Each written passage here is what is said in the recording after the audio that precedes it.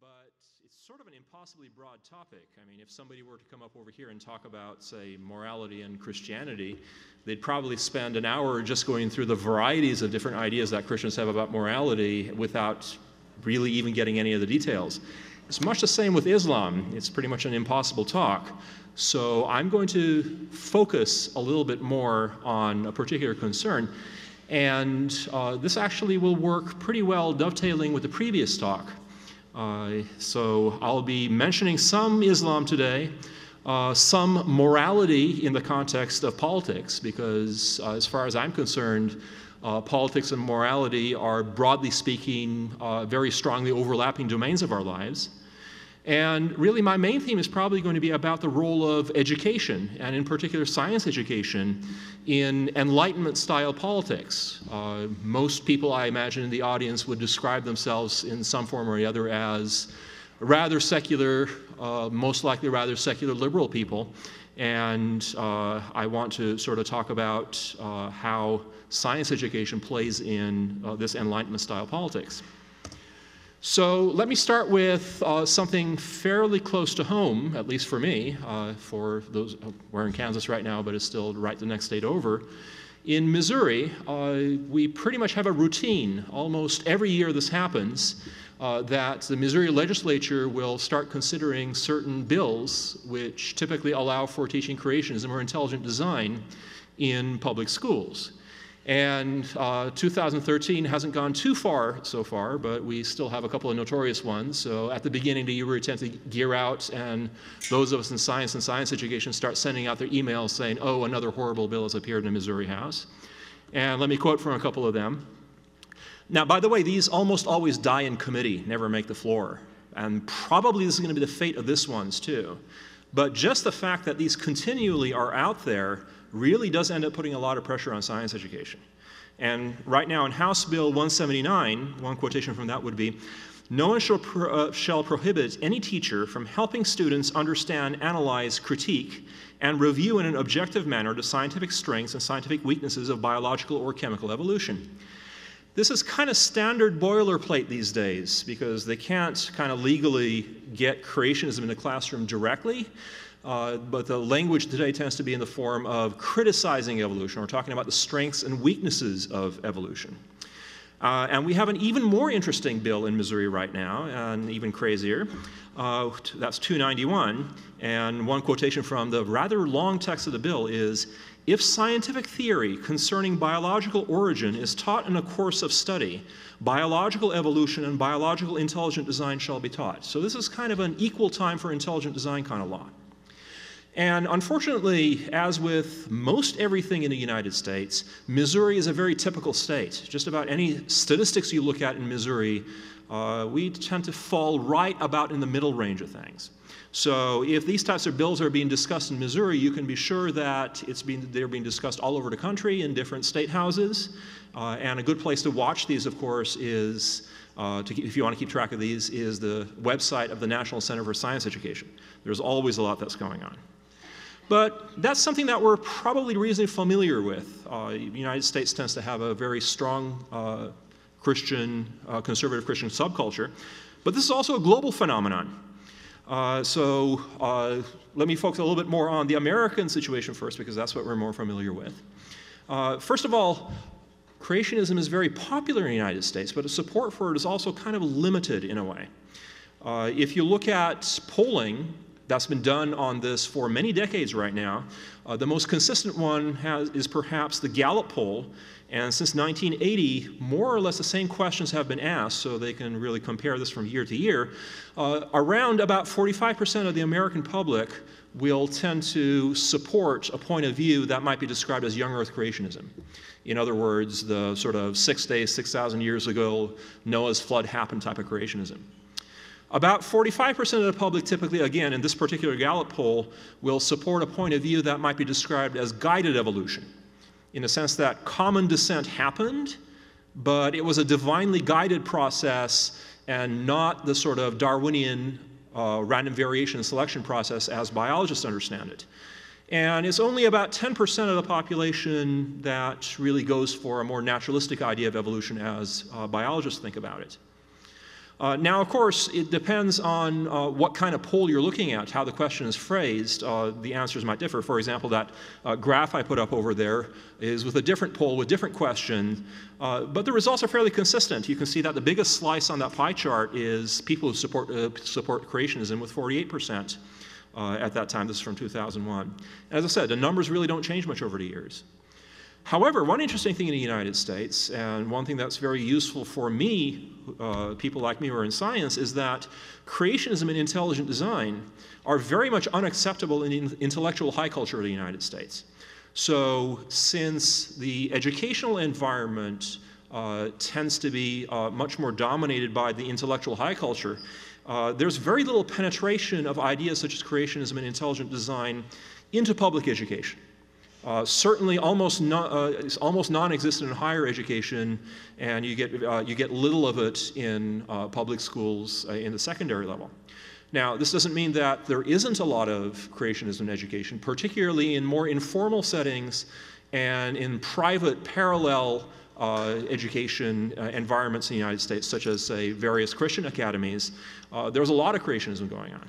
It's just that it doesn't appear much in the public arena. Now, let's compare that to the situation that happens in the Islamic world. Uh, and I have a Turkish background. I grew up in Turkey, so I spent a lot of time in both countries. And one of the interesting things that happens when you compare both countries is that there's a fairly strong presence of creationism, including in education in both countries. Uh, but in Turkey, it's actually even stronger. Uh, so if you ever get interested in, say, the Islamic version of creationism, uh, which, in, uh, which is kind of fascinating both in its similarities and its differences uh, when you compare to the Christian version. Uh, for example, the Islamic version doesn't make much out of Noah's flood or anything like that. They tend to be more old earth people. But anyway, if you get interested in this, just do a Google on uh, the name Harun Yahya.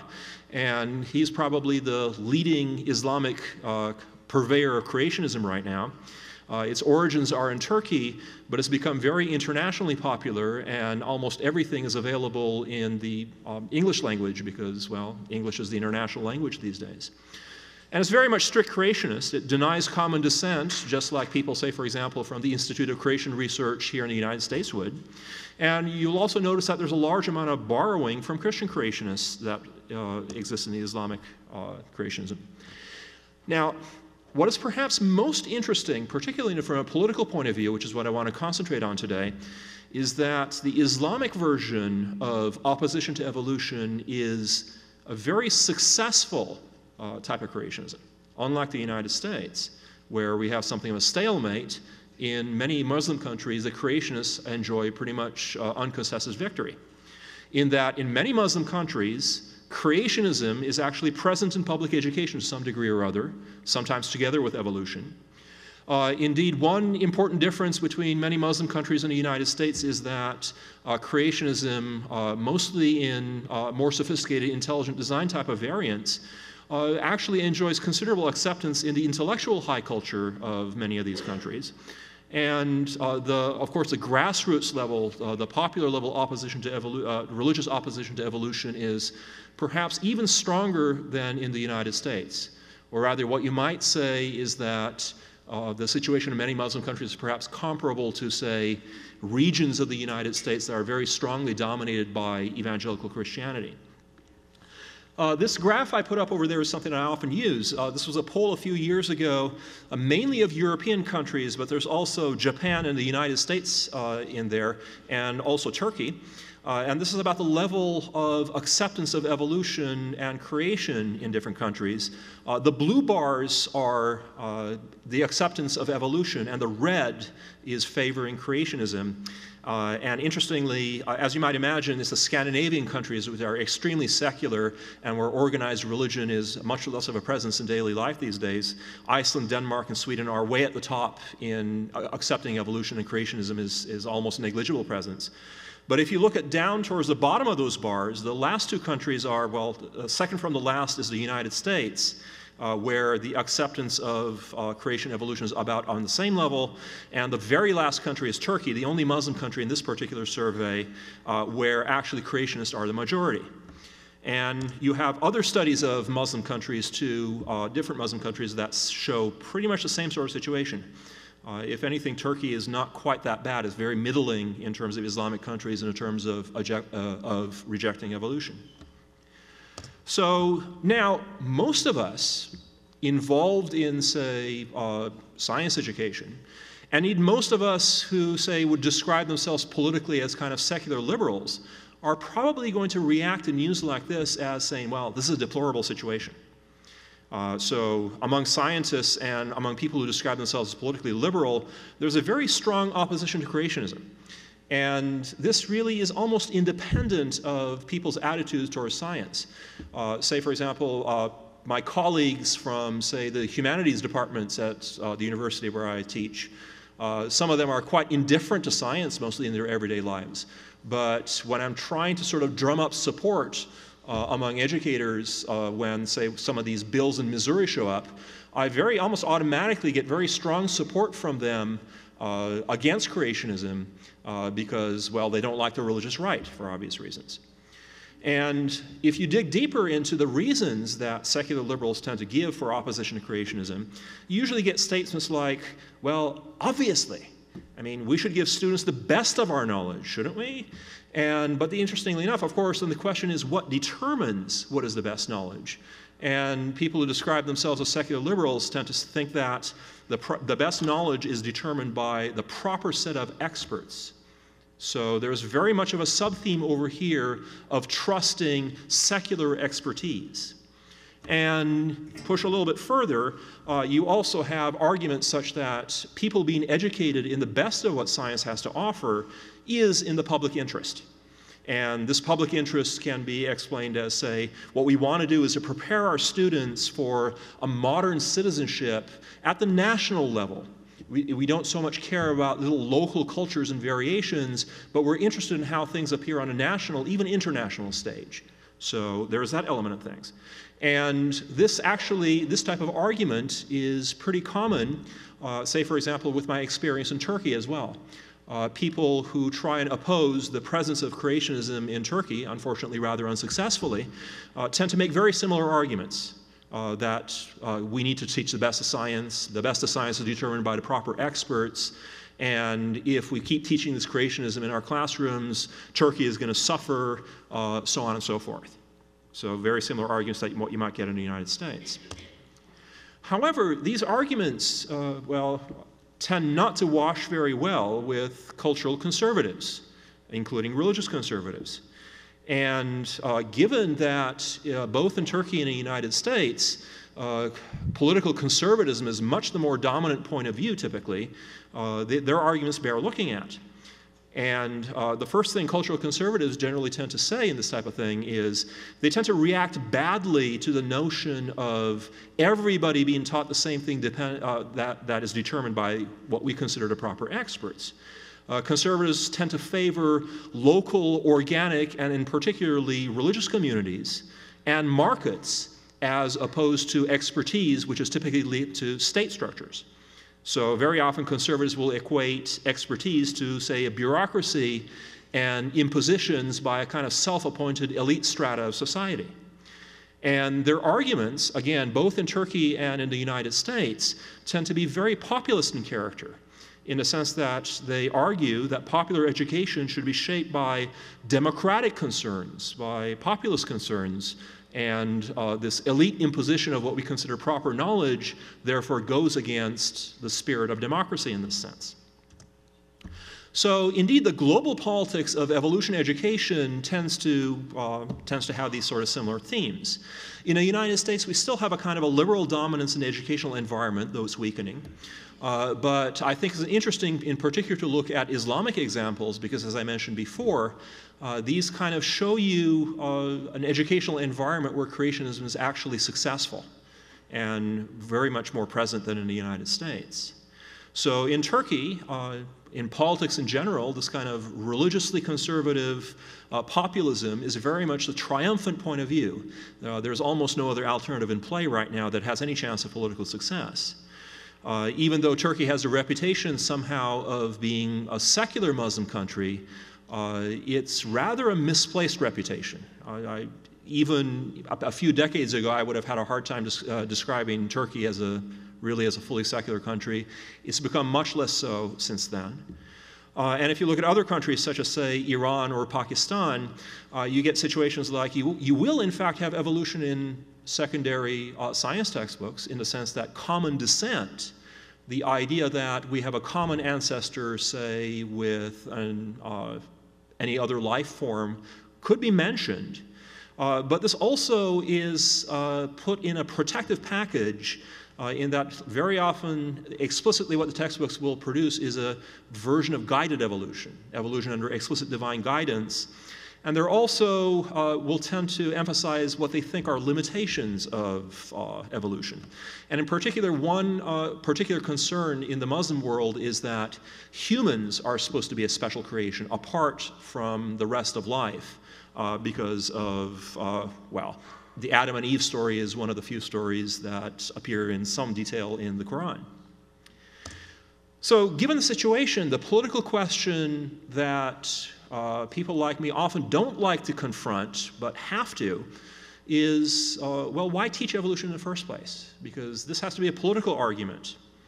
And if we could rely on a common secular liberal outlook in the population at large, which is something that you might have, say, for example, in Scandinavian countries and much of Northern and Western Europe, that's going to work.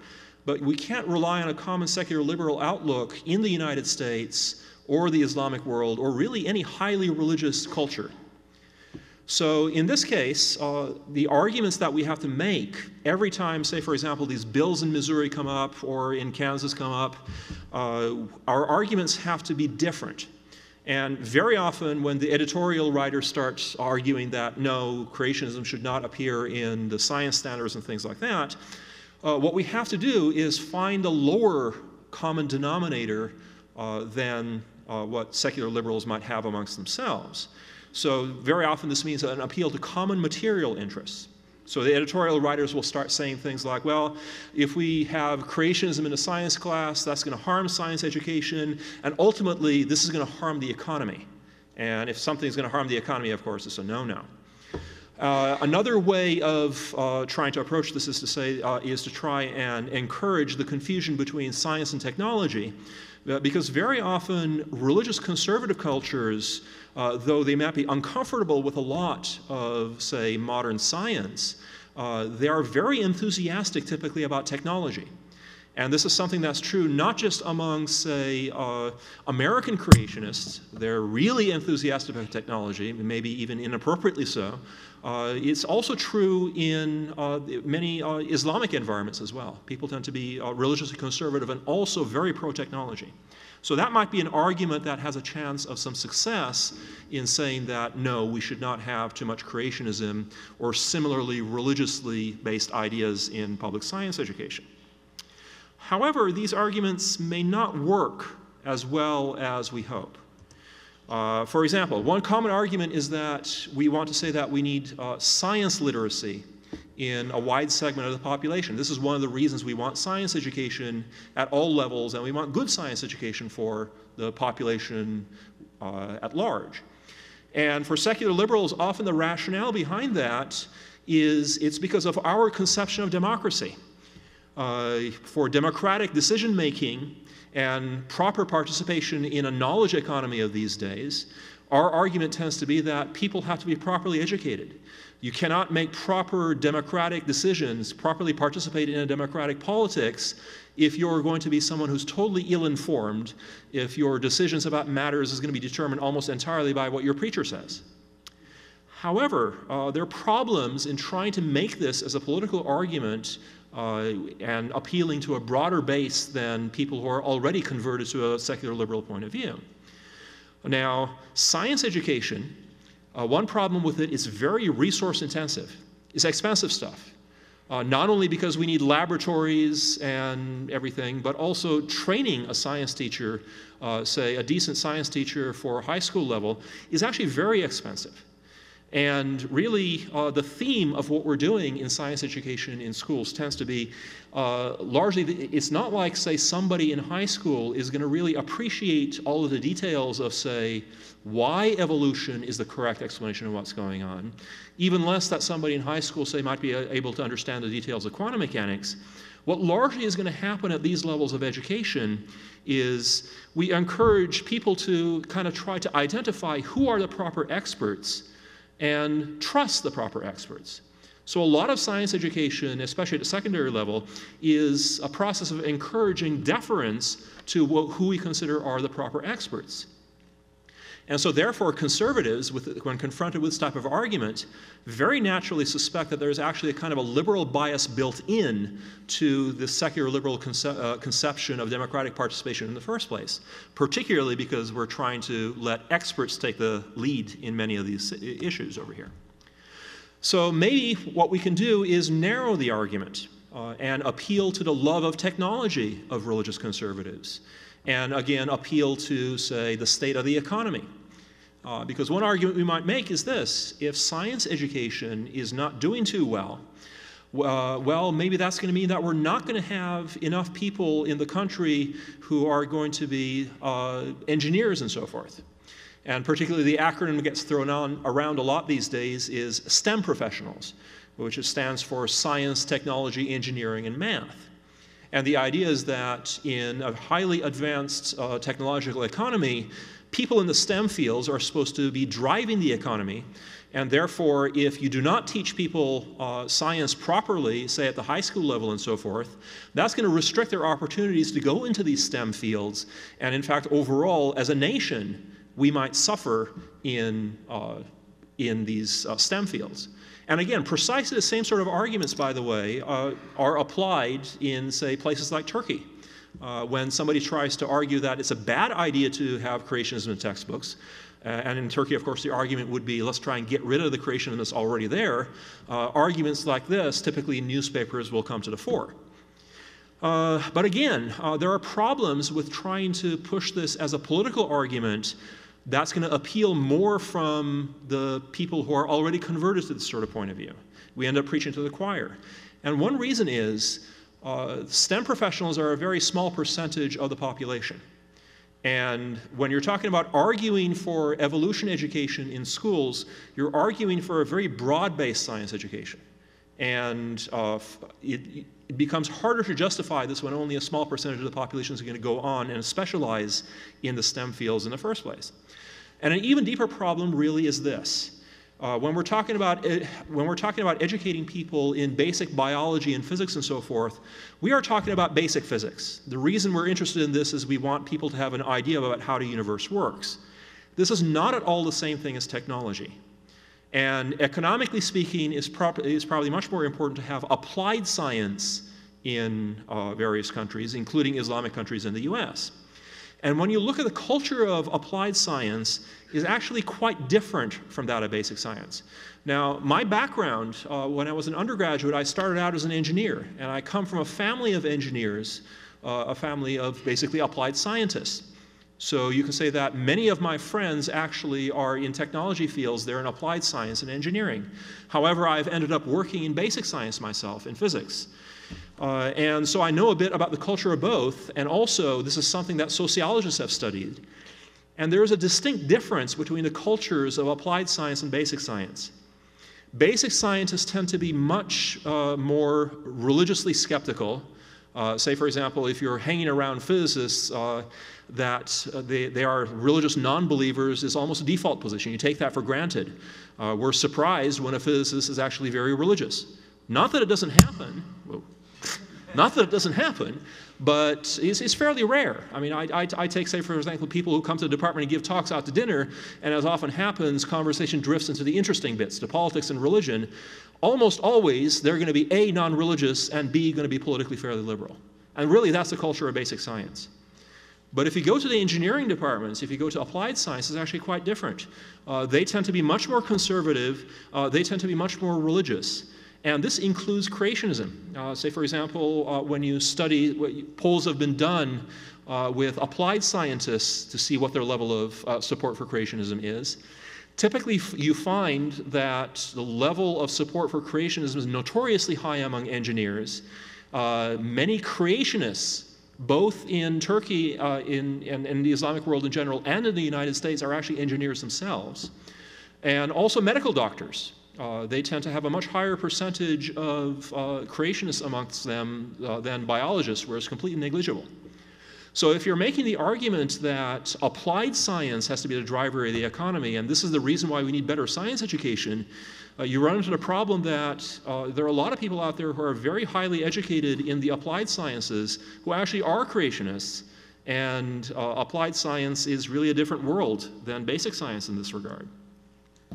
So maybe you want to get even more narrow in your arguments. Again, uh, editorial writers will try and say things like, well, if, you, if uh, creationism doesn't appear in schools, maybe biotechnology companies, because after all, biotechnology is supposed to be the big thing in the 21st century, uh, and biotechnology companies are going to be more reluctant to locate in states where you have creationist influence on uh, education there and so forth.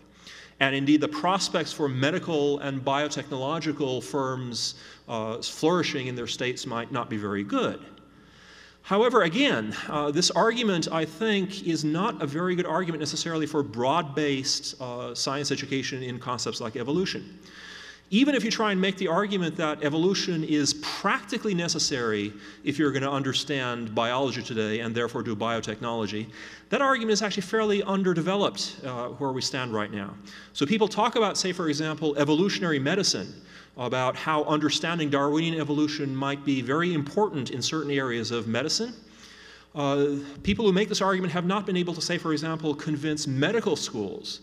Uh, there are very few medical schools that would apply, uh, that would uh, really uh, offer their students any courses in evolutionary medicine. And, and as I said, uh, medical doctors tend to be, in many ways, a much more creationist constituency when compared to, say, biologists. So, well, you know, let's get down to say maybe it's technology, uh, technology corporations. Maybe, and this argument I think has some merit. Uh, the idea is if you're having a religious influence on your science education, maybe this is sending a signal. It's not so much the content that's important over here, but you're sending a signal to technology corporations that this is a very religious environment, and so therefore it might be not very good for biotechnology. And the connection might work this way. Uh, biotechnology firms often work on uh, issues that have to do with, say, things like reproductive technologies and so forth.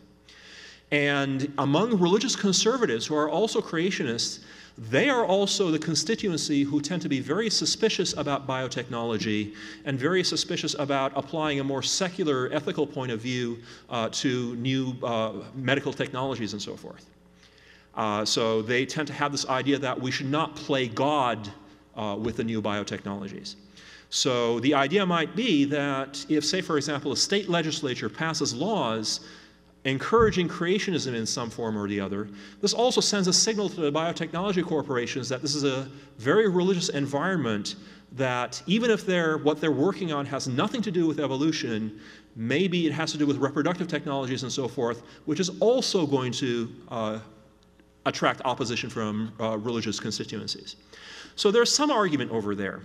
Uh, but I wouldn't push it too far. Uh, there's certain, uh, to a certain extent, it's also dubious.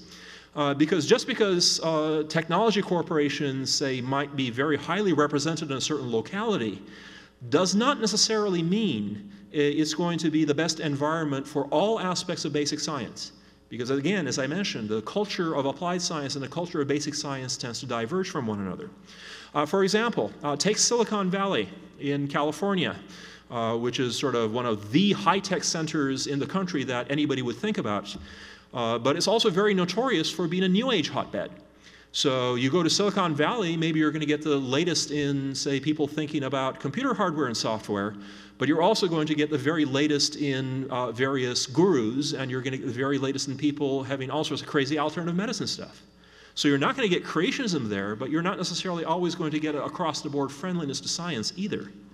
Or, for example, uh, uh, take, say, for example, India today. Uh, India is uh, actually doing very well in certain technological areas, including software, but the sort of up and coming Indian middle class who might be very enthusiastic about technology uh, and increasingly developing global market share in various technologies, uh, they're also very much into Indian astrology and various Hindu pseudosciences. So uh, the idea that creationism is an issue of signaling uh, to various companies, I think is a minor issue at best. So I think where this leaves us is kind of this. Uh, we tend to make arguments favoring science and say, hey, the best of science should be taught in schools. Uh, but in making these arguments, I think often we ignore uh, the costs of basic science. And when I say cost, I don't just mean monetary costs, though that's part of it. Uh, science is often costly to support, and it's not always true that you get direct economic benefits from supporting science. Okay, maybe indirectly further down the road, yes, but not directly. And it's not just a matter of evolutionary biology. There are many fields in science which are intellectually very, very interesting and uh, fascinating, uh, such as astronomy. Uh, but it's often difficult to make the argument that, say, uh, I, uh, with my ast- uh, astronomy colleagues, that anything that they're doing is going to plug in directly to an industrial economy. It doesn't really work that way. As I mentioned before, science education is very, very costly. Uh, not just because of the equipment that we need, but also because uh, uh, having good science teachers is a very, very expensive proposition. And also, there are cultural costs to science education. If you're in a country like in the United States, uh, where you have uh, culturally conservative, especially religiously conservative communities uh, in a strong position, you do have to keep in mind that basic science education can sometimes impose steep cultural costs on conservative religious communities. And anybody in politics, any politician, would be insane if they did not keep this in mind.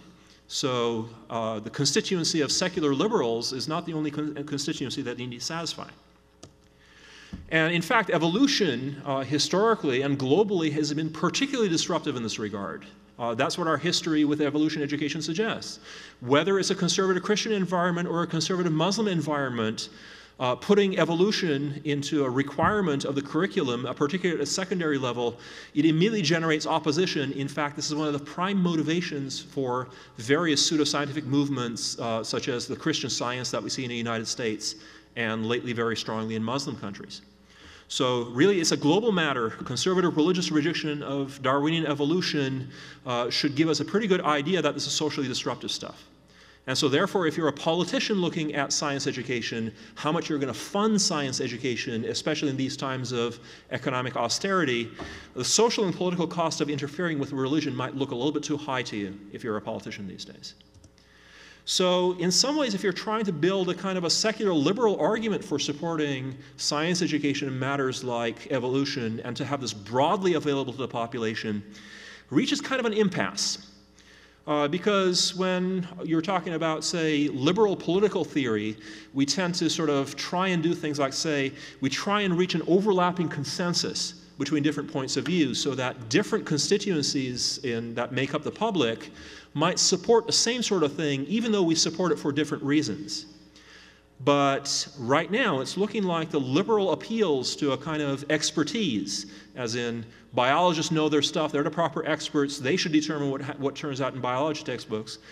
These are not entirely persuasive these days outside of a secular liberal constituency that's already committed to this point of view. And indeed, there are further difficulties uh, because uh, modern conservatism, modern cultural conservatism across the globe, has become very invested and very good uh, in using democratic arguments uh, and populist arguments against uh, liberal expertise. So the idea becomes that imposing secular liberal views, particularly by means of public education, uh, really gives conservatives uh, a hissy fit sometimes because this looks very undemocratic and very coercive. And indeed, from their point of view, this is quite understandable. It does very much look like that. Now, in these circumstances, uh, various forms of pseudoscience, creationism has been my example today, but this can appeal to uh, this can apply to other forms of pseudoscience as well. Say, for example, Indian astrology in the Indian context. Uh, but for creationism or guided evolution points of view, sort of splitting the difference, uh, kind of uh, trying to find some accommodation between creation and evolution, in some ways you can think of this as culturally and socially a kind of a useful middle point in the sense that it allows cultural conservatives to continue affirming technology And as I mentioned before, they tend to be very enthusiastic about technology and much of the modern world, and also at the same time retain many of their traditional beliefs, sometimes in changed forms. So, to a politician, this might look like, hey, this actually looks good. Politically and socially, it's kind of a low cost, low conflict solution of having uh, religious belief in uh, modern circumstances and modern technology. So, inevitably, in situations like this, there's going to be a huge pressure on, say, scientific and educational establishments to compromise science education in this way. Because scientific institutions, when conflicting with religions, and let's face it, scientific institutions do conflict with religions in many issues, uh, we cannot always claim a privileged political position. Uh, for about a century right now, uh, we've been doing pretty well for ourselves in science in claiming a privileged position and getting away with it, particularly because we have enjoyed a high degree of support from religious liberals. But we cannot count on this lasting forever. And in many circumstances, in many states, uh, this kind of alliance is already kind of uh, very much frayed. And so, from a politician's point of view, politically, it can start to look like compromising science education is actually quite rational. So I'm afraid one of these days Missouri is going to pass a bill that's going to allow intelligent design in classrooms and things like that because it's going to look like the right thing to do to politicians from democratic reasons. And Turkey already shows such circumstances, and parts of the United States, I think, are already headed in that direction. So, to complicate matters further, uh, our current economic situation, particularly in the United States, uh, actually uh, worries me to a certain extent about this as well. Uh, because people who are forecasting what the future economy of the United States looks like are increasingly forecasting uh, that much of the population is going to be shunted uh, not into high paying, highly skilled work, but we're looking at a de skilled economy right now. That we're going to have increasingly, even more than what is already the case today, precarious, low level service based employment. Uh, this is not a constituency which you need to invest a lot in their science education for. Now, of course, this is a political choice that we've been making, though, as usual in the United States, this is always dressed up as a kind of a market inevitability, uh, particularly in conservative discourse about these matters. But this leads to a bad environment for broad science education. So the future doesn't exactly look bright to me right now, though I'll also have to say I'm one of nature's pessimists, so it never looks bright to me. Also, uh, to complicate matters again, uh, the current talk about education reform in the United States, in the United States, and indeed globally, because these types of situations appear all over the place, uh, the, the, the current discourse about education reform worries me as well. Because there's a lot of pressure to privatize education at this point. I mean, I, te- I teach at a public liberal arts university, and which decades ago, when this was founded in the state of Missouri, which was as religious back then as it is right now, you could find a good deal of political support to have public education uh, and public higher education. Progressively, we have been completely defunded uh, since then. And I'm sure that, say, for example, the University of Kansas, if you talk to the faculty over here, you get similar complaints all the time. Uh, we do not teach in state universities anymore. We teach in state supported universities where the support is going down and down all over the place. Those of you who are in the audience who are students uh, immediately see the consequences of this because your tuition bills are getting immediately higher and higher every year. So, education is being increasingly privatized in countries like the United States and Turkey. And in situations like this, the parallel, more religious secondary education systems uh, really gain strength.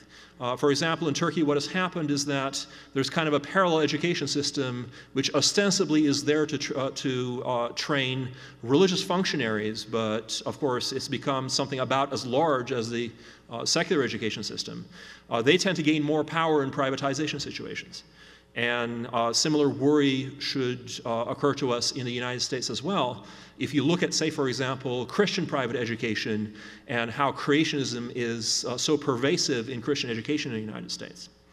Now, of course, uh, things being what they are, you generally have market justifications for this type of privatization, which emphasize immediate practical economic value of science.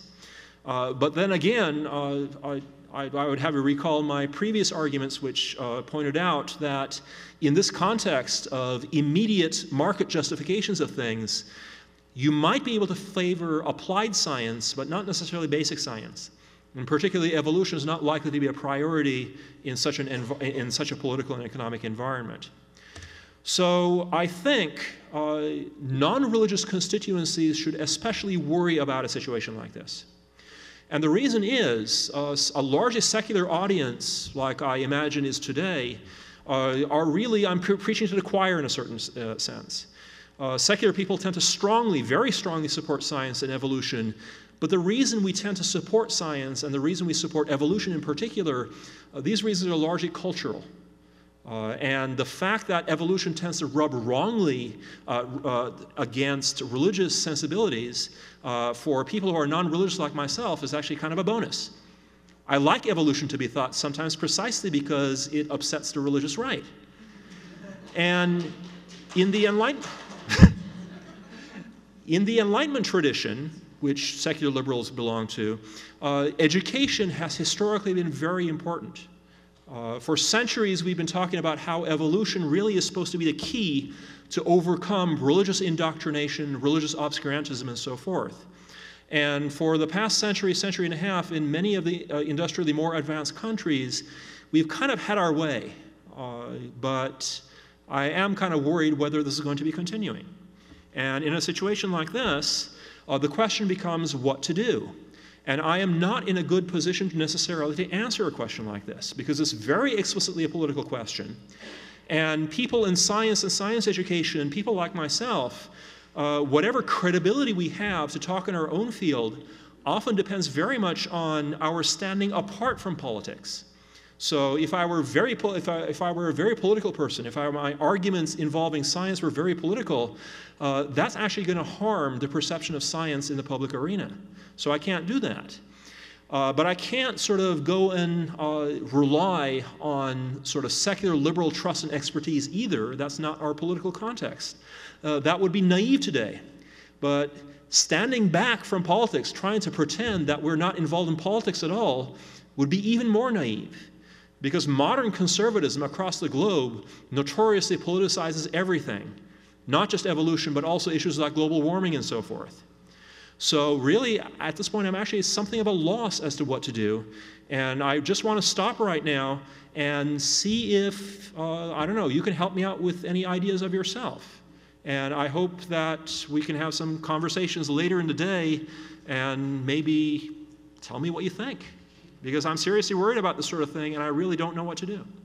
That's all I have to say.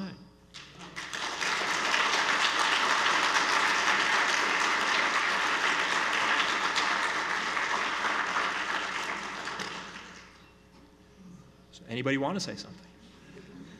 Go ahead, blue t shirt back there. Oh, that's you. Blue, blue t shirt? All oh, right.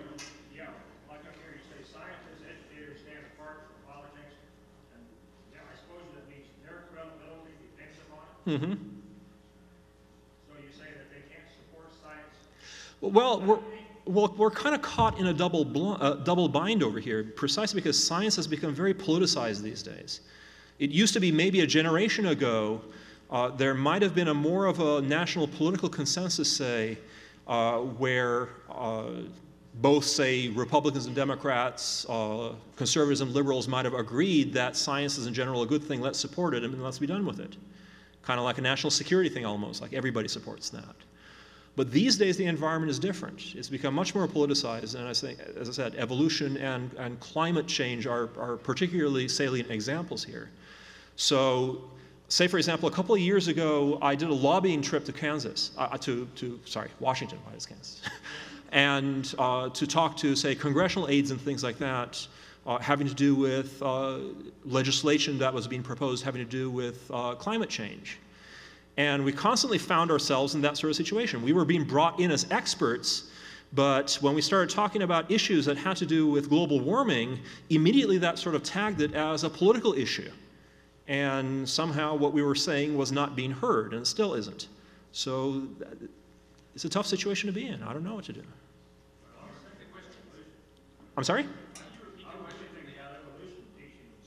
Right. I didn't, I didn't say that because I've been working on that for years. Sure. Historically, I haven't seen people being willing to stand up and say, well, this is what science supports evolution. Mm-hmm. You shouldn't allow taught. If you have a have the students bring it up in class. Sure, that's a problem, yeah. And, and this is going back, you know, 30, 40 years. Oh, yeah.